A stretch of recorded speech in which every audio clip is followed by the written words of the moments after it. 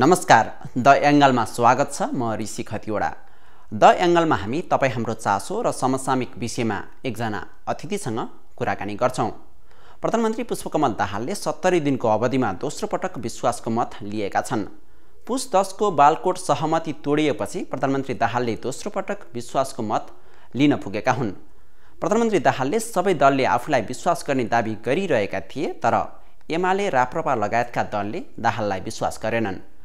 तैपनि माओवादी केन्द्रका अध्यक्ष तथा प्रधानमन्त्री दाहाललाई काङ्ग्रेस राष्ट्रिय स्वतन्त्र पार्टी लगायतको विश्वास रहेको छ।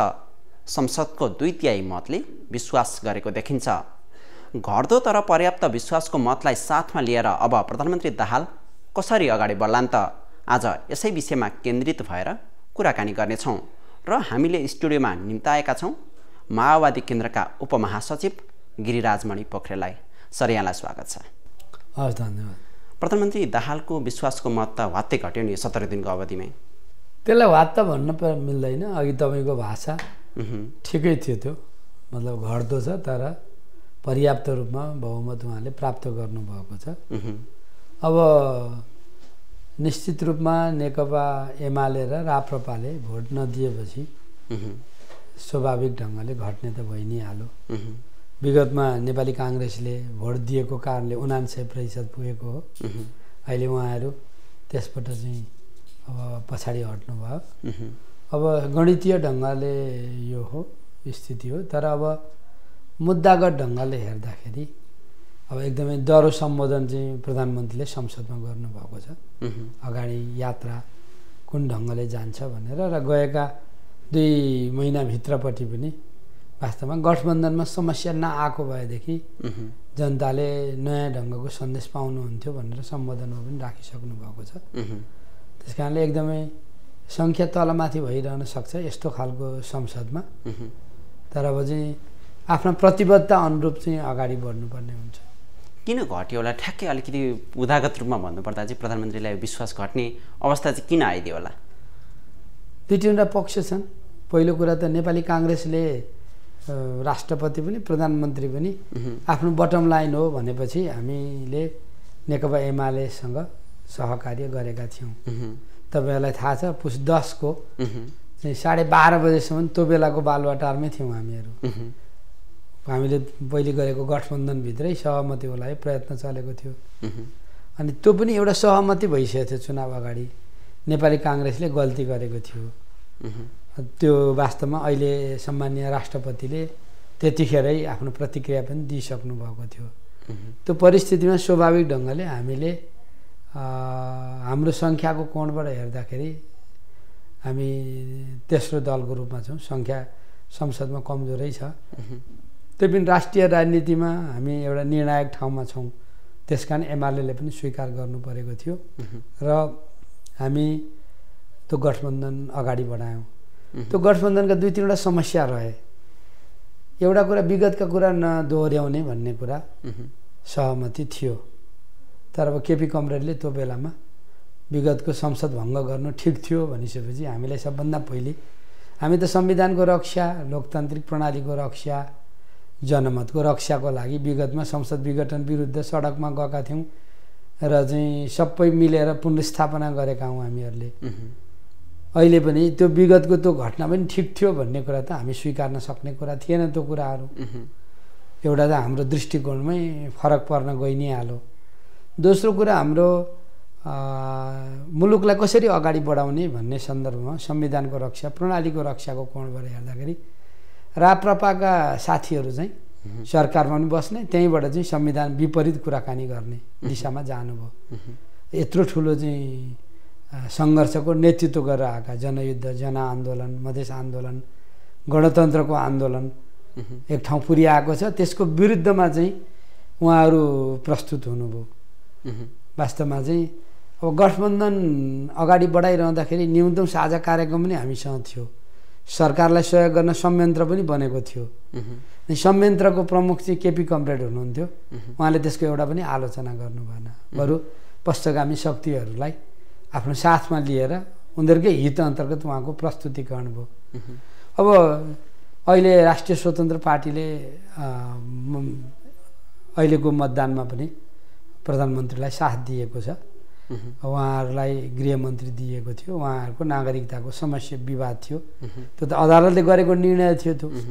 त्यो सन्दर्भमा पनि उहाँले चाहिँ रविजीलाई दिएको त्यो पदको कुरा चाहिँ रा राष्ट्रिय स्वतन्त्र पार्टीलाई दिएको ढङ्गले प्रस्तुत गर्नुभयो। र उहाँले त वास्तवमा चाहिँ प्रधानमन्त्रीलाई सहयोग गर्ने गरी संयन्त्रको कोणबाट चलाउनु पर्ने थियो। त्यस्तो पनि भएन। र चाहिँ हामी के पनि अपेक्षा गरेका थियौँ भन्दाखेरि नेकपा एमाले र नेकपा माओवादी केन्द्रको यो एलायन्सले अरू शक्तिलाई पनि लिएर अगाडि बढेको छ। र विगतमा नेकपाको चाहिँ जुन टुटेको कडी थियो त्यसलाई पनि जोड्ने एउटा अवसरको रूपमा यो थियो। तर अब अरू शक्तिलाई साथ दिने माओवादीलाई कमजोर बनाउने ढङ्गका उहाँका प्रस्तुतिहरू पनि रहे।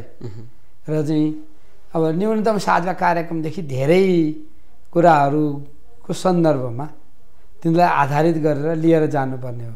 तिनीहरूलाई कार्यान्वयन गर्न स्वार्थ चाहिँ बाजिएका मान्छेहरूलाई मन्त्रीहरू बनाउनु हुँदैन थियो। त्यसमा प्रधानमन्त्रीका पनि कमी भयो होलान्। तर अब केपिजीले नै चाहिँ कतिपय राजनीतिक गठबन्धनका शक्तिहरूलाई चाहिँ संरक्षण गरेर आइसकेपछि प्रधानमन्त्रीले त सबैलाई साथ लिएर जान कोसिस गर्नुपर्ने कुरा भयो। कतिपय सवालहरूमा चाहिँ अब उहाँलाई कमजोर बनाउने खालका कामहरू पनि भए। त्यसैले के भइदियो भन्दाखेरि अब एकातिर चाहिँ कुनै गठबन्धनले बहुमत प्राप्त गरेको छैन कुनै पनि पार्टीको बहुमत छैन। हाम्रो अगाडिपट्टि यो यथार्थता छ। अब हामीले पाँच वर्ष संसद चलाउनु छ देशलाई स्थिरता र स्थायित्वतर्फ लैजानु छ शान्ति प्रक्रियाका कामलाई पुरा गर्नुपर्ने छ र हामीले वास्तवमा चाहिँ अब राष्ट्रियताको जगेर्ना गर्नुपर्नेछ अब शान्ति प्रक्रियाको कतिपय काममा पनि हाम्रा चाहिँ दृष्टिकोणगत मतभेदहरू देखा परे। तपाईँ हामीले जनयुद्धमा देखा परेको वीरता शौर्य पराक्रम बलिदानलाई सम्मान गरौँ। किनभने त्यो नेपालको परिवर्तनमा त्यसले महत्त्वपूर्ण चाहिँ आधार प्रदान गरेको छ। त्यसलाई चाहिँ अपराधीकरण गर्ने र हिंसा दिवस भन्ने जस्ता दृष्टिकोणगत मतभेदहरू पनि देखा परे। स्वाभाविक ढङ्गले अब यो त्यो गठबन्धन चलेन। दृष्टिकोणको कारणले पनि हो। र कतिपय मलाई चाहिँ के पनि लाग्दछन् भन्दाखेरि चाहिँ अहङ्कारले पनि काम गर्यो भन्ने मलाई लाग्छ मेरो आफ्नो वैयक्तिक बुझाइमा। त्यो पुस दस गतेदेखि पुस छब्बिस गतेको बिचमा तपाईँहरूलाई काङ्ग्रेसले पनि विश्वास गर्ने वातावरण बनेको थियो। त्यो बिचमा तपाईँहरू बिच छलफल भएको थियो? हाम्रो प्रधानमन्त्रीले पार्टीकै उपमहासचिव लेभलको बैठक बोलाउनु भएको थियो। पच्चिस गते अगाडिपट्टि। गठबन्धन त भयो। तर अब चाहिँ अब सुपर प्राइम मिनिस्टरको रूपमा आफूलाई प्रस्तुत गर्ने रवैयादेखि लिएर धेरै कुराले गठबन्धन अगाडि बढाउन अप्ठ्यारो परेको छ। त्यो भन्नुभयो त्यो प्रधानमन्त्रीले। हामीले भन्यौँ काङ्ग्रेसलाई पनि भोट मागौँ। हामीले किनभने देशले एउटा चाहिँ स्थायित्व खोजेको छ।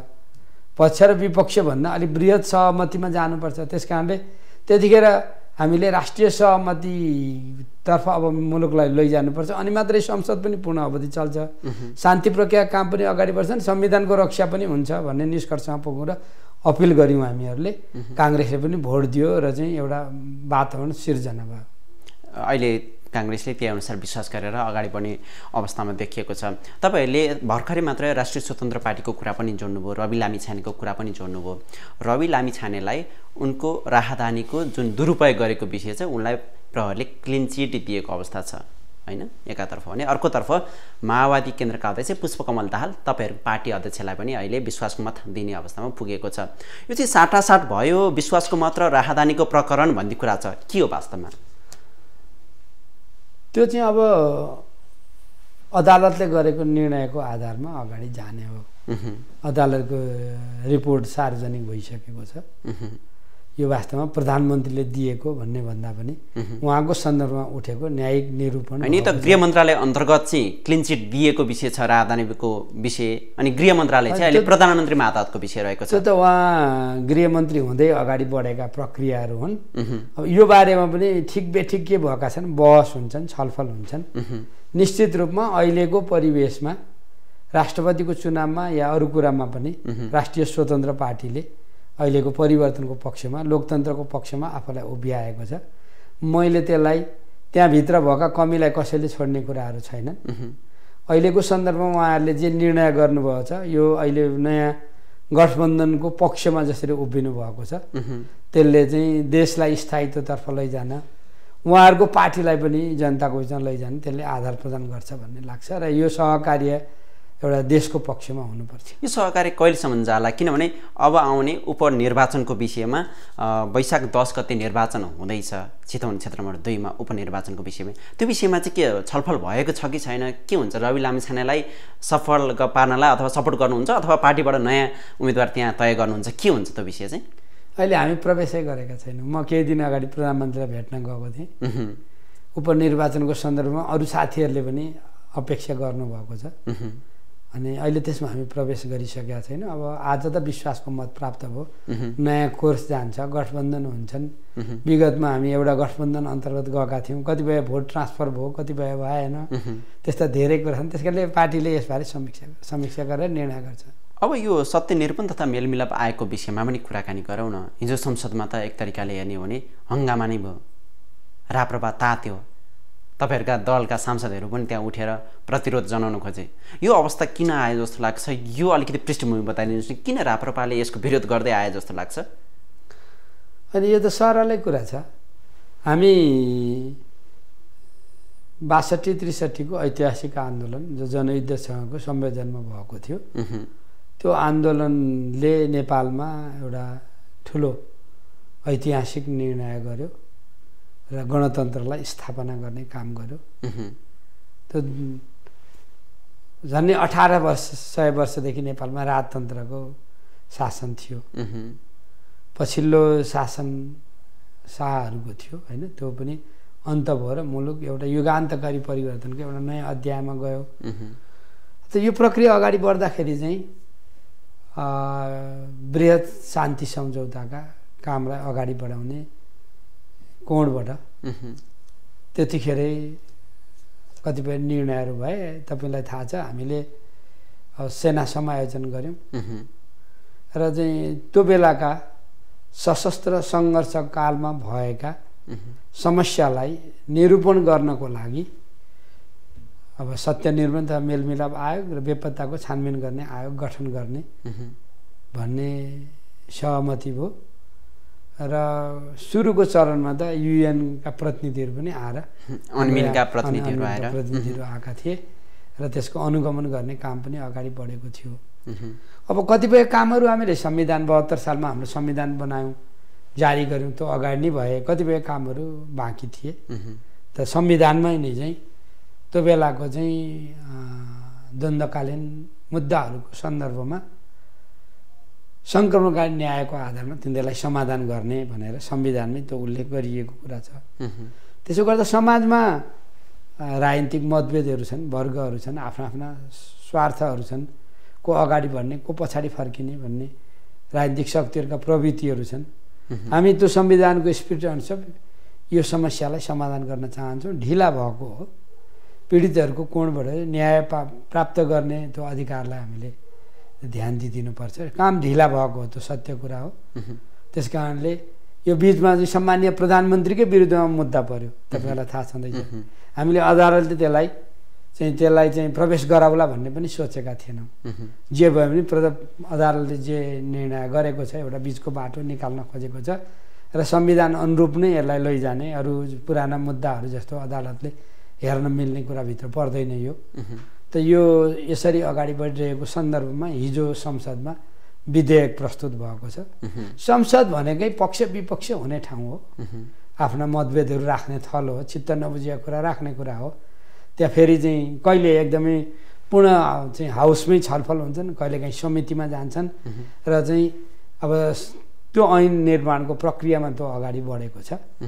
अब मलाई लाग्दछ अहिले अब युगको परिवर्तन भएर नयाँ ठाउँमा गएको बेलामा फेरि पुरानो राजतन्त्रवादी शक्तिलाई बिउताउँछु भनेर लागिरहेका शक्तिहरूले जुन दृष्टिकोण पक्रिनु भएको छ उहाँहरूले यी द्वन्द्वकालीन मुद्दाहरूमा नै आफूलाई फरक ढङ्गले प्रस्तुत गर्न खोज्नु भएको छ। तर मेरो बुझाइमा संसद चाहिँ सरकारको पनि विपक्षको पनि संवाद गर्ने ठाउँ हो त्यो।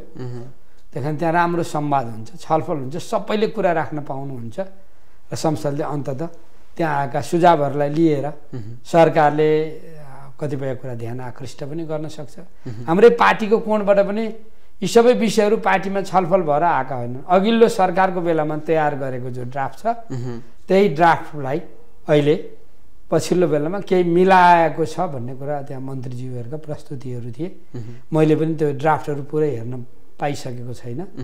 जे होस् अब अघि मैले यो संसदले यो सरकारले केही काम गर्नुपर्नेछ भन्ने अन्तर्गत संसदलाई पुरा अवधि चलाउनुको उद्देश्यमध्ये संविधानको रक्षा शान्ति प्रक्रिया कामलाई चाहिँ अगाडि बढाउने जनतालाई परिवर्तनको अनुभूति दिलाउने गरी काम गर्ने अन्तर्गत पर्छन्। त्यसैले शान्ति प्रक्रियाको काम अब अगाडि बढो भन्ने मैले बुझेको छु।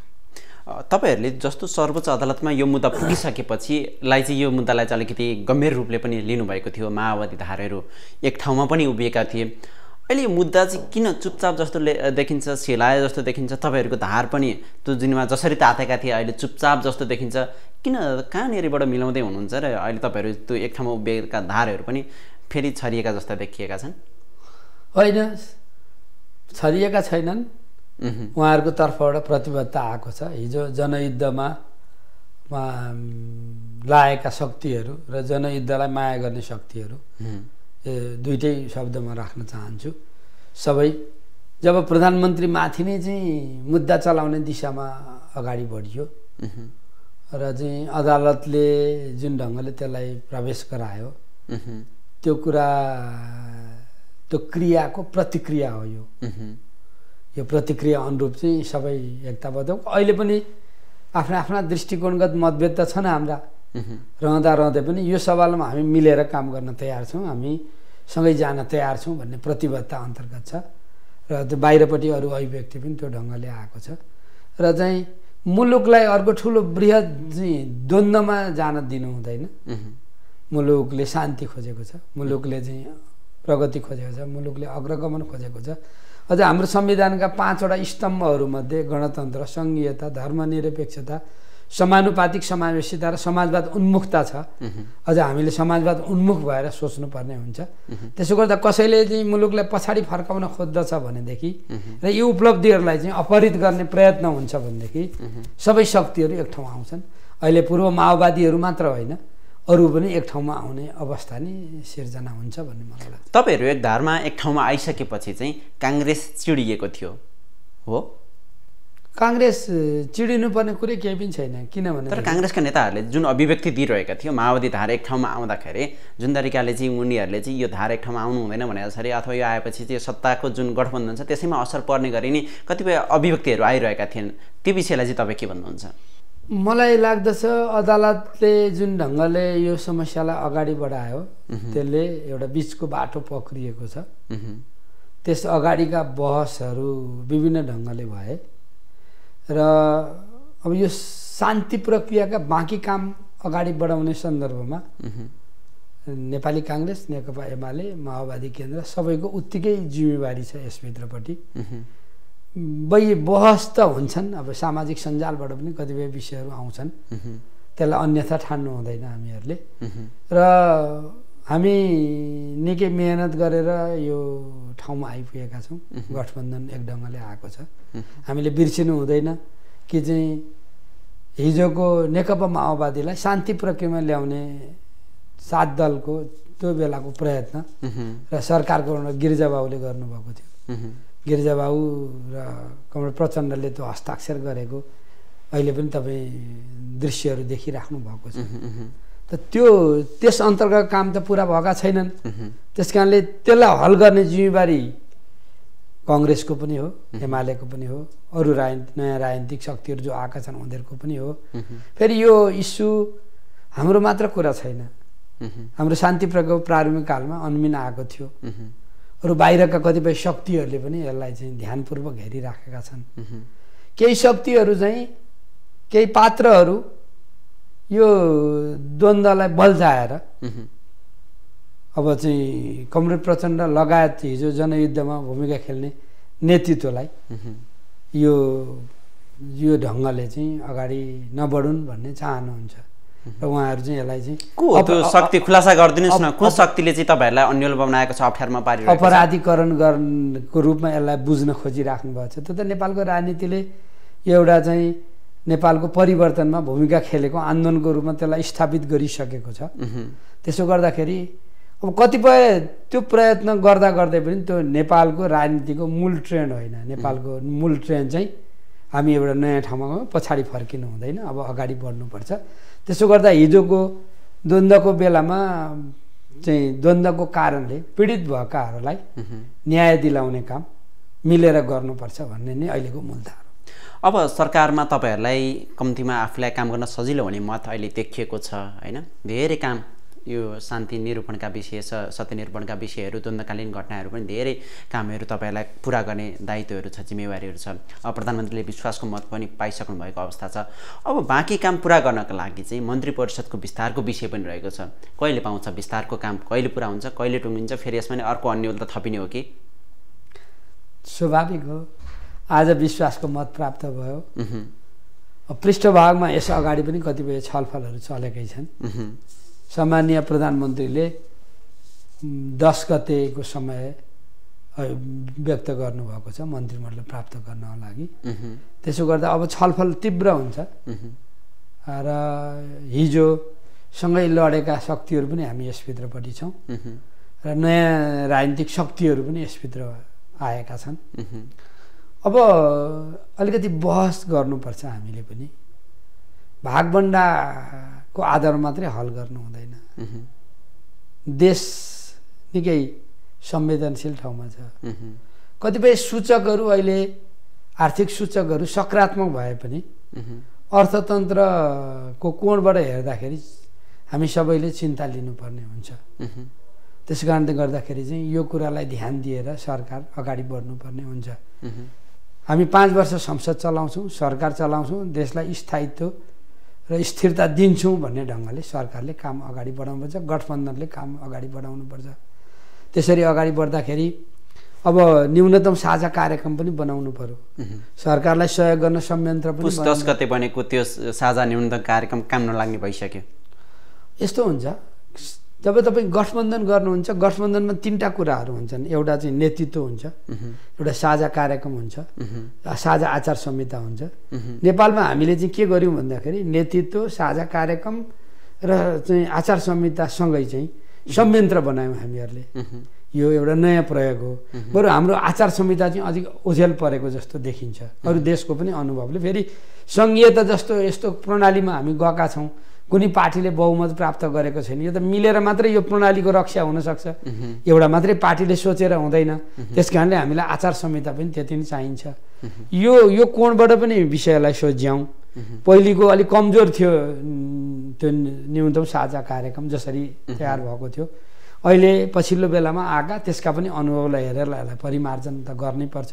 या नयाँ सहमति गर्नुपर्ने पनि हुनसक्छ। त्यसको आलोकमा मन्त्रीहरू बनाउँदाखेरि चाहिँ केही कुरा ध्यान दिनुपर्छ। यो भ्रष्टाचार विरुद्धको अहिलेको सरकार दह्रो खडा भएन उभिएन भनेदेखि सरकार अप्ठ्यारो ठाउँमा छ भन्ने कुरा। जनताले सुशासन खोजेका छन् जनताले सेवा प्रवाह खोजेका छन् जनताले प्रणालीको माग गरेका छन्। त्यसकारणले गठबन्धनको नाउँमा जस्ता पाए त्यस्ताहरूलाई प्रधान मन् प्रधानमन्त्रीले मन्त्री बनाउनु हुँदैन। त्यो पार्टीसँग पनि छलफल गर्नुपर्छ। र चाहिँ एउटा नयाँ ढङ्गले यतिखेर चाहिँ जनताको अपेक्षाहरूलाई चाहिँ पुरा गर्ने ढङ्गले यसलाई लैजानुपर्ने हुन्छ। अर्को कुरा चाहिँ अब कतिपय खर्चहरू कटौती गर्ने।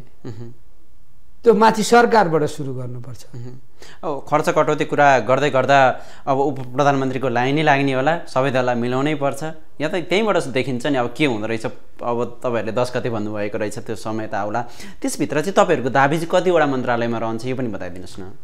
अहिले हामीले यो अप्ठ्यारो बेलामा समग्र देशको नेतृत्व गर्ने अवसर प्राप्त गरेका छौँ। प्रधानमन्त्रीको कोणबाट हेर्दाखेरि। अब प्रधानमन्त्रीले सबै दलहरूलाई मिलाएर लिएर जानुपर्छ। त्यस कारणले अहिले हामीले कति दाबी गर्ने भन्ने भन्दा पनि कमभन्दा कम उपप्रधानमन्त्री बनाउने कोणबाट उहाँले सोध्नुपर्छ। होइन? आफूले चाहिँ कस्तो चाहिँ रिजल्ट खोज्नु भएको छ? उहाँको मन्त्रीमण्डल हो प्रधानमन्त्रीको मन्त्रीमण्डल हो। त्यसो गर्दा त्यो चाहिँ टाइम एन्ड टास्क भनेर भन्छ होइन? कति समयभित्र कुन काम कसरी सक्ने भन्ने कुरा सहितको कार्ययोजना बनाउनुपर्छ। मन्त्रीहरूसँग प्रधानमन्त्रीले कार्य सम्पादन सम्झौता गर्नुपर्छ। हाम्रा धेरै कामहरू चाहिँ ब्युरोक्रेसीको कारणले चाहिँ अब प्रभावित हुने गरेका छन्।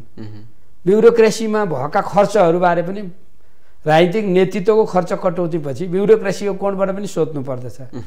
विगतमै पनि पूर्व अर्थशास्त्रीहरूको नेतृत्वमा हाम्रो चाहिँ प्रशासनमा सुधार गर्ने खर्च कटौती गर्ने सुझावहरू आएका छन्। तिनीहरूलाई पनि ध्यान दिइदिनुपर्ने हुन्छ। र चाहिँ एउटा नयाँ ढङ्गले साँच्चै चाहिँ विगतमा कयौँ काम हामीले गर्न सकेका थिएनौँ। प्रधानमन्त्रीको प्रतिबद्धता यसपटक प त्यो पच्चिस गतेको संसदको सम्बोधन या आजको सं संशोधनमा पनि त्यो कुरा एकदमै प्रष्टसँग परिलक्षित भएको हामी देख्दछौँ हामीहरू होइन? र चाहिँ यी सबै कामलाई चाहिँ गर्दै मुख्य कुरा चाहिँ जनताले साँच्चै सेवा प्राप्त गर्नु पऱ्यो राष्ट्रियताको जगेर्ना गर्नु पऱ्यो हाम्रो संविधानलाई कार्यान्वयन गर्नु पऱ्यो त्यो दिशामा लैजानुपर्छ। त्यो ढङ्गले अरू पार्टीले पनि यतिखेर चाहिँ मन्त्रीमण्डलमा सदस्य पठाउँदाखेरि सोध्नुपर्छ। सदस्यको विषयमा अहिले पछाडि एकछिनमा फेरि आउँला। तपाईँले विगतका केही कुरा सम्झिनु भएको भएर म पनि सम्झिनु मन लाग्यो। तपाईँ लामो समय शिक्षा मन्त्रालयमा काम गर्नुभएको थियो। तपाईँ केही पालामा आएको यो सङ्घीय शिक्षा ऐन अझै पनि लागू भएको छैन। त्यो विषयमा नै अलिकति खुलाइदिनुहोस् न। काम गर्दै जाँदा तपाईँ जतिको मान्छेले काम गर्दै जाँदा पनि काम अहिलेसम्म कार्यान्वयन नहुनु त्यो शिक्षा ऐन लागू नहुनु। कहाँनिर दोषी देख्नुहुन्छ? के समस्या भएर त्यो अल्झिएको छ? यस्तो छ। म मन्त्री हुँदाखेरि तत्कालीन प्रधानमन्त्री केपी शर्मा ओलीको नेतृत्वको सरकारको एउटा सदस्य थिएँ म। शिक्षा विज्ञान प्रविधि मन्त्रालयको नेतृत्व गरेको हुँ। हामीले नेपालको शिक्षालाई पूर्वाधारको पनि पूर्वाधारको रूपमा हेर्छौँ। शिक्षा मन्त्रालय भनेको मानव संसाधन तयार गर्ने मन्त्रालय हो त्यो। त्यतिखेर एकातिर अब नेपालको शिक्षा कस्तो हुनुपर्छ भनेर एउटा ठुलो आयोग बनाएर कामलाई अगाडि बढाएका थियौँ। अर्कोतर्फबाट चाहिँ संविधानसँग सम्बन्धी भएको मौलिक हक सम्बन्धी अनिवार्य तथा नि शुल्क शिक्षा ऐन पनि हामीले बनाएका थियौँ। हामीले कतिपय चाहिँ त्यो संविधान अनुरूपका चाहिँ विश्वविद्यालयका सबै ऐनहरूलाई पनि संशोधन गरेका थियौँ। एकातिर त्यो काम अगाडि बढाएका थियौँ भन्दाखेरि अर्कोतर्फबाट त्यो आयोग मार्फतबाट समग्र नेपालको चाहिँ उच्च शिक्षा विद्यालय शिक्षा प्राविधिक शिक्षा बाल विकास सबैलाई सम्बोधन गर्ने गरी सङ्घीयतालाई पनि सम्बोधन गर्ने गरेर चाहिँ ऐन बनाउनलाई त्यो आयोगले रिपोर्ट दिएको थियो। अब हामीले एकातिर चाहिँ ऐन बनाउनको ऐन चाहिँ निर्माण गर्नको लागि ड्राफ्ट गरेर पठायौँ।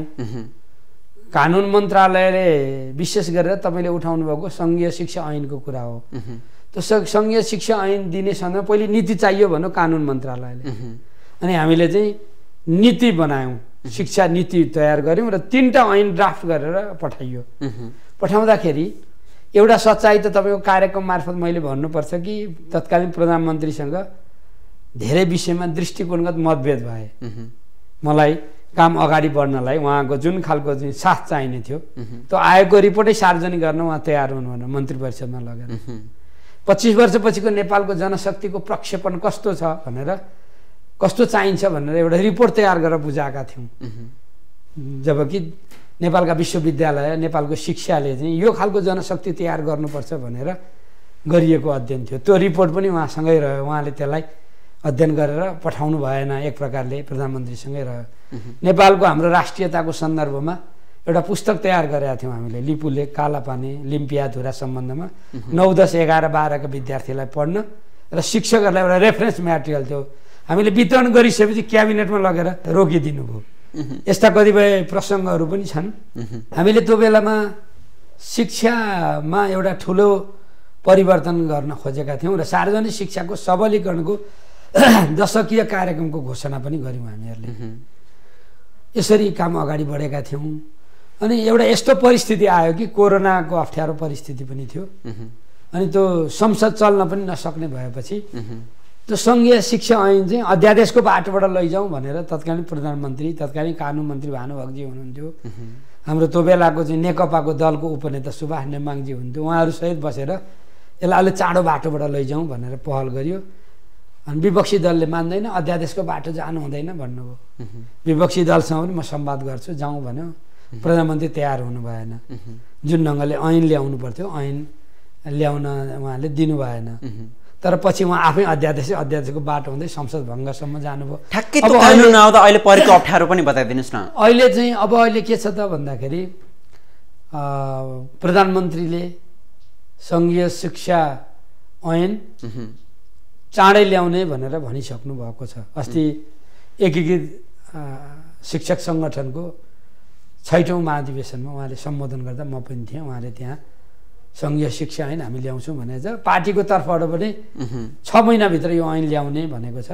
यो ऐन नभएको कारणले एकातिर चाहिँ अठाइस सालकै पञ्चायतकालीन चाहिँ ऐनको आधारमा कतिपय काम गर्नु परेको बाध्यताहरू छन्। त्यसले चाहिँ सबैलाई पीडाबोध गरेको छ। उहुँ, अर्को तर्फबाट चाहिँ अब नेपालको शिक्षालाई रूपान्तरण गरेर लैजानु छ। अघि मैले चर्चा गरेँ शिक्षा भनेको त पूर्वाधारको पनि पूर्वाधार हो जनशक्ति निर्माण हो। त्यसो गर्दाखेरि हाम्रो विद्यालय शिक्षालाई कसरी अगाडि बढाउने? ए यो चाहिँ कामकाजी कसरी बनाउने? उत्पादनसँग यसलाई कसरी जोड्ने? श्रमसँग यसलाई कसरी जोड्ने? एउटा राम्रो मान्छे निर्माण गर्ने प्रक्रियासँग हाम्रो शिक्षा कसरी गाँसिन्छ? अहिले तपाईँ देख्नुहुन्छ एघार बाह्र नसकिँदाखेरि विदेश जानेको लर्को लागेको छ। चाहिँ अहिले अस्ति मैले कतै सुनेको थिएँ झन्डै पाँच महिनाभित्र अठाइस अरब विदेशी सञ्चित चाहिँ शिक्षामा चाहिँ खर्च भइराखेको छ। हामीले हाम्रो युवा पुस्ताहरूलाई हामीले चाहिँ आफ्नो शिक्षामा विश्वास दिलाउनु पर्ने छ त्यसकारण शिक्षालाई रूपान्तरण गर्ने कोणबाट पनि र यो तिन तहको सरकार अन्तर्गत चाहिँ विद्यालय शिक्षाको महत्त्वपूर्ण जिम्मेवारी चाहिँ हामीले स्थानीय सरकारलाई दिएका छौँ। त्यसो गर्दाखेरि स्थानीय सरकारलाई त्यो शिक्षक भर्ती गर्ने कुरा दिएको छैन। अरू कुरा दिइएको छ। त उसलाई चाहिँ सङ्घीय शिक्षा ऐन नभएको कारणले अप्ठ्यारो परेको छ। कतिपय ठाउँमा लोकल सरकारले ऐन बनाएर त काम गरेका छन्। तर अतिशय राजनीतिकरण भएको छ। त वास्तवमा चाहिँ के गर्न पाउने र के गर्न नपाउने जस्ता कुराहरूलाई चाहिँ निरूपित गर्नुपर्छ सङ्घीय शिक्षा ऐनले। पाठ्यक्रमको कुरा परीक्षाको कुरा यो चाहिँ गुणस्तरको कुरा यो चाहिँ समकक्षताका विषय जस्तो कुरामा चाहिँ एउटा चाहिँ राष्ट्रिय मानकहरू चाहिन्छ यसभित्रपट्टिबाट। त्यस कारणले हामीलाई तिनैवटा ऐन चाहिएको छ त्यसमध्ये यो सङ्घीय शिक्षा ऐन ढिला भएको छ। अब प्राविधिक धारको चाहिँ शिक्षालाई हामीले माथि पुर्याउँछ। सात सय त्रिपन्नमा एकातिर पुर्याउनु पर्छ म रहन्जालसम्म छ सय सैँतिस पालिका थियो। पछि छ सय त्रिहत्तर पुगेको मैले सुनेको छु। नपुगेका ठाउँमा पनि प्राविधिक शिक्षा विकास पुर्याउनु पर्छ शिक्षालाई श्रमसँग श्रमलाई सिपसँग सिपलाई उत्पादनसँग उप उत्पादनलाई समृद्धिसँग जोडेर नेपालको शिक्षाको तलदेखि नै एउटा ठुलो कायापलट गर्ने गरी लैजानुपर्नेछ। म हुँदाखेरि प्राविधिक शिक्षाको जुन ऐन ड्राफ्ट गरिएको थियो त्यसमा चाहिँ नेपालमा तपाईँ म जस्ता सबैले कुनै न कुनै एउटा सिप सिकेकै हुनुपर्दछ।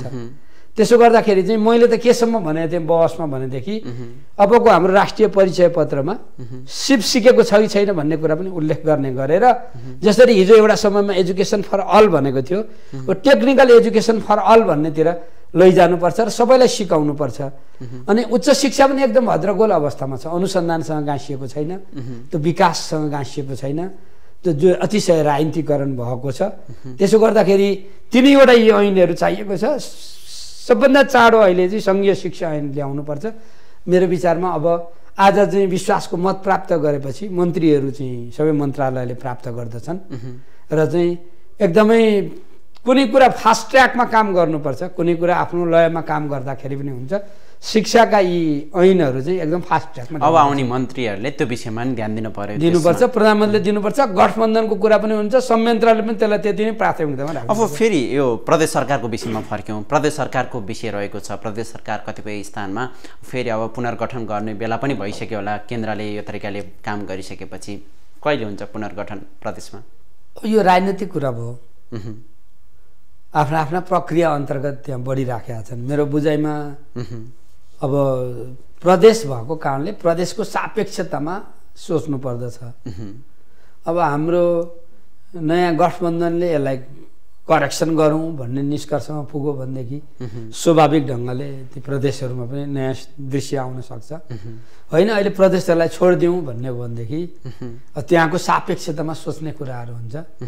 मैले बागमतीमा तुरुन्तै चाहिँ विश्वासको मत लिने प्रक्रिया सुरु हुँदैछ भन्ने सुनेको छु। अरू ठाउँमा पनि छन्। अब अहिले यसको कुनै तिथिमिति भन्नुपर्ने खालको कुरा छैन। पृष्ठभागमा भएका छलफल प्रधानमन्त्री पुष्पकमल दाहालको सरकारमा रहने आयु कति? पुरै अवधि उहाँले संसदलाई पाँच वर्ष चलाउने गरेर नेतृत्व गर्नुपर्छ। निश्चित रूपमा अहिले यो नयाँ जुन गठबन्धन निर्माण भइसकेपछि अब त्यस्तो लिखितै सहमति भएको मलाई जानकारी छैन। कतिपय त्यसबिचमा प्रधानमन्त्री बन्ने रहर काङ्ग्रेस सभापति शेरबहादुर देवाललाई जाग्यो भने? होइन चर्चा त के छ भन्दाखेरि यो एकीकृत समाजवादीको अध्यक्षको पनि कुरा उठेको छ माधव नेपाल कमरेडको पनि उठेको छ। नेपाली काङ्ग्रेसले पनि अपेक्षा गरेको छ भन्ने छ। मुख्य कुरा चाहिँ अहिले यो खालको बहसहरू बाहिर गर्दा एकातिर उहाँहरूको छविलाई पनि राम्रो पर्दैन। जनताले पनि त्यो कुरालाई राम्रोसँग लिएका छैनन्। मुख्य कुरा चाहिँ पाँच वर्ष संसद चलाउने गरी जनतालाई सेवा प्रवाह गर्ने गरी लैजानु पर्दछ। अब महत्त्वपूर्ण समय चाहिँ प्रचण्डकै नेतृत्वमा सरकार अगाडि बढ्छ। त्यसबिचमा नेकपा एमाले पनि संविधानको धारा छयत्तर तिनमा खेल्ने हो कि भन्ने पनि आशंका बढिरहेको छ। अनि त्यो त संसदमा भएको कारणले त्यो स्वाभाविक पनि मानिन्छ खेल्नु पनि हुन्छ। प्रतिपक्ष भनेको चाहिँ सत्ता पक्षलाई ढाल्नको लागि बस्ने पनि हो त्यो। त्यसलाई अन्यथा ठान्नु हुँदैन। मूल कुरा आफ्नो गठबन्धन मजबुत छ कि छैन? आफू चाहिँ शक्ति सन्तुलनलाई चाहिँ मिलाएर गइराखेका छौँ कि छैनौँ? हामीले अर्को कोणबाट पनि हेर्नुपर्छ। हाम्रो भू राजनीतिलाई पनि हेर्नुपर्छ। हाम्रो देश चाहिँ अस्थिरतामा भइरह्यो भने अरू धेरै गतिविधि गर्न पाइन्छ भनेर सोध्ने बाह्य शक्ति पनि छन्। नेपाललाई आफ्नो खेलको मैदान बनाउन चाहने देखिन्छन्। तपाईँ यो दुई महिनाभित्रपट्टि यता आन्तरिक चाहिँ गठबन्धन बदलिनसकै बाहिरका गयौँ मन्त्रीहरू नेताहरू कर्मचारीहरू चाहिँ आएको देख्नुभयो नि लस्करै लागेर देख्नुभएको छ नि त होइन? त्यस कारणले हामीले मुलुकलाई अस्थिरतातर्फ होइन स्थिरतातर्फ लैजाने गरी देशलाई चाहिँ माया गर्ने गरी सोध्नुपर्छ। अब भनिदिनुहोस् न त पाँच वर्ष सरकार तपाईँहरूकै गठबन्धनमा जाने तपाईँहरू तयार हुनुहुन्छ भने के के दिनुहुन्छ त पाँच वर्षमा देशलाई? अहिले हामीले जुन हिजो चुनावको बेलामा जुन घोषणापत्र तयार गरेका छौँ त्यो घोषणापत्र हाम्रो एउटा मूल आधार बन्दछ हामीले अहिले अब देशमा युवाहरूलाई रोजगारी दिनुपर्ने कुरा एकदम महत्त्वपूर्ण कुरा छ। हामीले पर्यटनलाई अगाडि बढाउनु पर्ने त्यति नै महत्त्वपूर्ण कुरा छ। अब यो सार्वजनिक शिक्षालाई सबलीकरण गरेर अभिभावक र विद्यार्थीहरूको चाहिँ कहाँ पढ्ने हो पढाउने हो भन्ने चिन्ताबाट मुक्त गर्नुपर्छ। स्वास्थ्य सेवालाई हामीले चाहिँ सबै पालिकाहरूमा सबै जनताको बिचमा पुर्याउनुपर्छ। स्वास्थ्यमा कयौँ सुधारहरू गर्नुपर्ने आवश्यकता छन्। आधारभूत स्वास्थ्य राज्यको जिम्मेवारीभित्र पर्दछ। र जुन चाहिँ आधारभूत बाहेकका सेवाहरूको लागि चाहिँ जुन चाहिँ स्वास्थ्य सम्बन्धी चाहिँ बिमा बनेको छ। त्यो राम्रोसँग कार्यान्वयन भएको छैन। त्यो कार्यान्वयन गर्नुपर्ने कुरा हुन्छ। हामीले निजी क्षेत्रलाई पनि साथमा लिएर जानुपर्ने हुन्छ तर सार्वजनिकलाई सबल र मजबुत बनाउने दिशामा हामीले कामलाई लिएर हुन्छ। कयौँ विषयहरूमा हाम्रो समाजवाद उन्मुखताको कोणबाट सोध्नु पर्दछ हामीले विभेद र असमानतालाई अन्त गर्ने सन्दर्भमा सोध्नुपर्छ। दलितहरूको महिलाहरूको सीमान्तकृत समुदायको विभिन्न उत्पीडन परेका समुदायहरूका चाहिँ समस्याहरू छन्। तपाईँ अहिले मिटर ब्याजीहरूको चाहिँ समस्या चर्कोसँग आइराखेको छ। लघुवित्तले गरेका उत्पीडनका प्रश्न छन्। ब्या ब्याङ्कको चाहिँ चर्को ब्याज दरका समस्याहरू छन्। हामीले चाहिँ थुप्रै क्षेत्रमा हामीले कामलाई अगाडि बढाउनु पर्ने आवश्यकताहरू छन्। र अर्को कुरा अब यो सबै कुरालाई हेरेर हामीले पाँच वर्षभित्र के गर्ने हो त भन्ने कोणबाट हाम्रो मात्रै घोषणापत्रको कुरा पनि भएन। अरू गठबन्धनको अरू पार्टीहरूका पनि घोषणापत्रहरूबाट आधारित गरेर हामीले विषयलाई ल्याउनु पर्दछ लैजानुपर्छ र चाहिँ साझा न्यूनतम कार्यक्रममा यी तपाईँले भनेका कतिपय विषयहरू समेटिनुपर्छ। हस् यहाँको यो महत्त्वपूर्ण समयका लागि धेरै धेरै धन्यवाद। हुन्छ यहाँले पनि मलाई आज प्रधानमन्त्रीले दोस्रो पटक विश्वासको मत लिएको दिन यी विषयमा आफ्ना कुरा राख्ने अवसर दिनुभयो। यहाँलाई पनि आभार प्रकट गर्न चाहन्छु। दर्शक द एङ्गललाई निर्धारित समय सकिएको छ। हामी तपाईँलाई न्युजसँग निरन्तर जोडिरहनेछौँ। नमस्कार।